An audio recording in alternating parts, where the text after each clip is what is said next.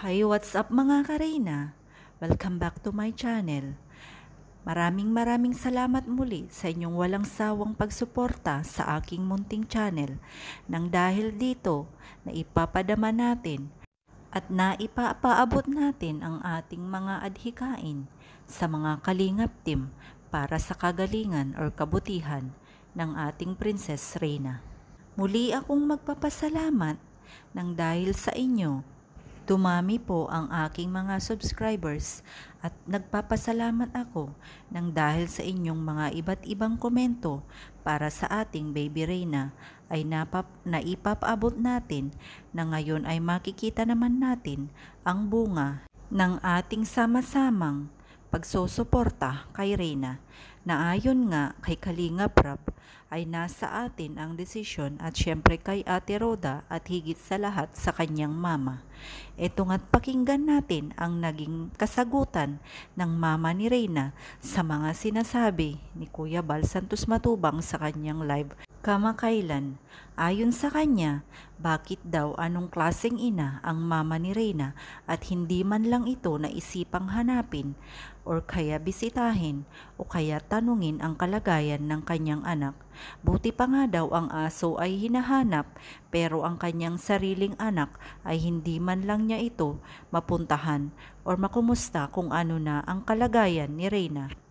Sa mga gustong makapanood sa kanyang buong kwento, puntahan niyo lamang po ang kanyang nakaraang mga live at makikita niyo kung paano niya po batikusin ang nanay ni Reyna na noong kamakailan ay nag-vlog nga sila at pinuntahan ni Kalinga Prab ang mama ni Reyna at doon ay nagpaliwanag ang kanyang ina na gawa ng kanyang pagbubuntis at panganganak ay hindi niya ito nagawang kumustahin o bisitahin ang kanyang anak na si Reyna, lalong-lalo na hindi niya alam itong puntahan at wala siyang ni kontak sa kanila. Kung mapapansin natin mga kareyna,